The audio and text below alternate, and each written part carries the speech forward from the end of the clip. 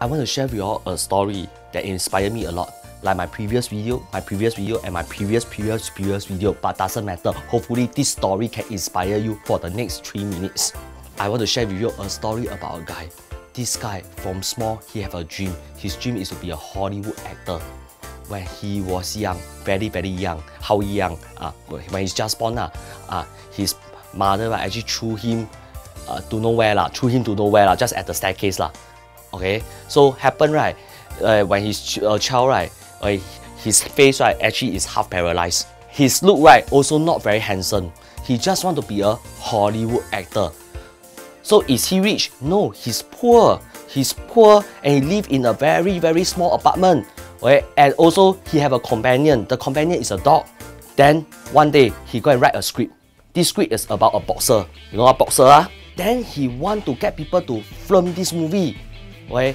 Yes, there are quite a number of producer, uh, director uh, saw this script uh, they really want to film this movie. But then oh, he still got one more criteria. Criteria is what? Eh? Film this movie can, but I must add. But then you should know lah, his face half paralyzed and someone to look very handsome, to look like a leading man. That's why a lot of producers say, cannot lah, you look like that, how to act? Aiyah, you won't succeed one lah. Xiao ah. Uh, American don't say xiao ah. In Singapore, we say xiao ah. Uh, I don't know what they say lah. Okay? Yes, all the rejection. Ah. And to say the truth, that moment of time, right, he even sold his house, ah, his dog also sold away. Everything can sold also sold away. Ah. Then finally, there's one director, right, accepted his script and also accepted him, lah, but didn't pay him a lot. Lah. Right? But his dream somehow rather come true, lah, managed to be a Hollywood actor. Ma.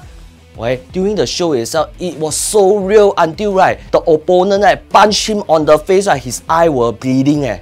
But then, this movie, even though it's a low budget movie, right, it became a hit at that moment of time. And this movie is called Rocky.